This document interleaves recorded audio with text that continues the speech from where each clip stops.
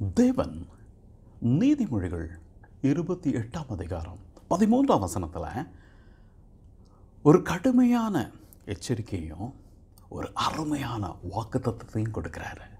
பாருங்க வேதம் இவ்விதமாக சொல்லுது தன் பாவங்களை மறைக்கிறவன் வாழ்வடைய மாட்டான். அவைகளை அறிக்கை செய்து விட்டு விடுகிறவனோ இரக்கம் பெறுவான். பாருங்க அன்று சொல்லாரு தன்னுடைய பாவங்களை மறைக்கிறவன் வாழ்வடைய மாட்டானா? தன்னுடைய பாவங்களை அறிக்கை செய்து அவைகளை விட்டு விடுகிறவனோ இரக்கம் பெறுவான்னு ஆண்டவர் என்ன சொல்கிறாருன்னா மகனே மகளே உன்னுடைய பாவத்தை நீ மறைச்சினா அதை நான் வெளிப்படுத்துவேன். அதே நேரத்தில் உன்னுடைய பாவங்களை நீ வெளிப்படுத்துறீன்னா நான் அதை மறைப்பேன்னு என்னை கேட்க சகோதரனே சகோதரிய நண்பனை விழித்து கொள்ளுங்க. விழித்து கொள்ளுங்க. ரோமர் ஆறு இருபத்தி மூன்று சொல்லுது பாவத்தின் சம்பளம் மரணம். தேவனுடைய கிருபை வரமோ? இயேசு கிறிஸ்துவன் நான் உண்டான நித்திய ஜீவன். என்னை கேட்கிற சகோதரனே சகோதரிய நண்பனை பாவம் நம்மளை கொன்று போடும். பரிசுத்தம். நமக்கு ஜீவனை நித்திய ஜீவனை அளிக்கும். நம்ம பாவங்களை நம்மளால் மன்னித்து கொள்ள முடியாது. மனுஷனால் மன்னிக்க முடியாது. தேவனால் மட்டும்தான் மன்னிக்க முடியும். அதனால தான் நம்ம என்ன செய்யணும்? மனம் திரும்பணும். நம்முடைய பாவங்களை அறிக்கை பண்ணணும். அப்போ என்ன செய்யலாம்? மன்னிப்பு பெற்றுக்கொள்ளலாம் அதுதான் பாருங்க.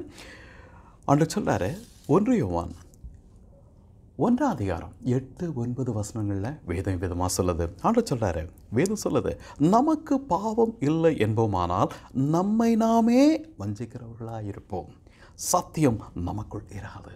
பார்த்துக்கோங்க நமக்கு பாவம் இல்லை. நான் பரிசுத்தவன் நான் நீதிமா நான் நல்லவன் அப்படின்னு சொல்லி நம்ம நமக்கு நாமே சொல்லி கொண்டோன்னா நம்ம என்ன செய்கிறோமா நம்மளை நாமளே வஞ்சிக்கிறோமா? ஒரு ரெண்டாம் மனுஷனும் மூணாம் மனுஷனும் கிடையாது. நம்மளை நாம் நாமே வஞ்சித்து கொள்கிறோமா ஏமாற்றி கொள்கிறோமா எப்போ? எனக்குள்ள பாவம் இல்லைன்னு நம்ம சொல்கிற பொழுது. அது ஆண்டு திரும்ப அப்புறம் சொல்கிறார் பார்த்துக்கோங்க. நமக்கு பாவம் இல்லை இல்லை என்போமானால் நம்மை நாமே வஞ்சிக்கிறவர்களா இருப்போம் சத்தியம் நமக்குள்ளே இராது. சத்தியம் யார்? இயேசு தான் சத்தியம். இயேசுவால் நமக்குள்ளே இருக்க முடியாது. நம்ம ஒருவேளை கிறிஸ்தவன் நம்ம சொல்லிக்கலாம். ஆனால் அவரால் நமக்குள்ளே இருக்க முடியாமா அதான் பாருங்க யோவான் பதினாலாம் அதிகாரம் ஆறாம் வசனம் சொல்லுது. நான் வழியும் சத்தியமும் ஜீவனமாக இருக்கிறேன். யார் சத்தியம்? ஏசு. தொடர்ந்து பார்த்துங்க ஒன்பதாம் வசனத்தை சொல்கிறார் பார்த்துங்க நம்முடைய பாவங்களை நாம் அறிக்கையிட்டால் அறிக்கையிட்டால் பாவங்களை நமக்கு மன்னித்து எல்லா அநியாயத்தையும் நீக்கி நம்மை சுத்திகரிப்பதற்கு இயேசு அவர் உண்மையும் நீதியும் உள்ளவராய் இருக்கிறார். பார்த்துக்கோங்க. இங்கே ஆண்டவர் ஒரு பெரிய வாக்குத்தத்தையும் அருமையான ஒரு வாய்ப்பையும் கொடுக்குறாரு. என்ன சொல்கிறாரு நீங்கள் உங்களுடைய பாவங்களை அறிக்கையிட்டீங்கன்னா உன் உங்களுடைய பாவங்களை மன்னித்து உங்களுடைய எல்லா அநியாயத்தையும் நீக்கி உங்களை சுத்திகரிப்பதற்கு இயேசு ஒன்றையும் நீதியும் உள்ளவராக இருக்கிறாராம். என்னை கேட்டு சகோதரனே சகோதரியை நண்பனை விழித்துக் கொள்ளுங்க. விழித்துக் கொள்ளுங்கள் உங்களுடைய பாவங்களை அறிக்கை பண்ணுங்க. மனம் திரும்புங்க. உங்களுடைய பாவங்களை அனுதினமும் அறிக்கை பண்ணுங்க. அப்போ என்ன நடக்கும்? தேவன் நம்முடைய பாவங்களை மன்னித்து இயேசு நம்முடைய பாவங்களை மன்னித்து நம்மளை நம்முடைய எல்லா அநியாயத்தையும் நீக்கி நம்மளை சுத்திகரிக்கிறதுக்கு உண்மையும் நீதியும் உள்ளவராக இருக்கிறாருன்னு வேதம் என்ன சொல்லுது? ஆண்டவர் என்ன சொல்றாரு? உன்னுடைய பாவங்களை நீ மறைச்சினா நான் அதை வெளிப்படுத்துவேன். உன்னுடைய பாவங்களை நீ வெளிப்படுத்தினா நான் அதை மறைப்பேன் மன்னித்து மறைப்பேன். என்னை கேட்க சகோதரனே சகோதரி நண்பனை விழித்துக் கொள்ளுங்க. விழித்துக் கொள்ளுங்க கொள்ளுங்க. அவனுடைய வார்த்தைக்கு கீழ்ப்படியுங்க. அவனுடைய வார்த்தைக்கு கீழ்ப்படியுங்க.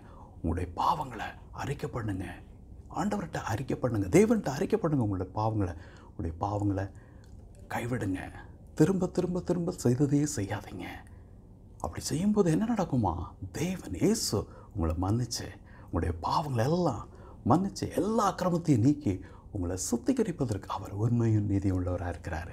என்னை கேட்கிற சகோதரனே சகோதரிய நண்பனே இயேசு உங்களை நேசிக்கிறார் தெய்வன் உங்களை நேசிக்கிறார் நான் உங்களை நேசிக்கிறேன். நம்ம வீட்டில் சந்திக்கும் வேற இந்த தெய்வன் உங்களோடு இருப்பாராக. ஆமேன். அல்லேலூயா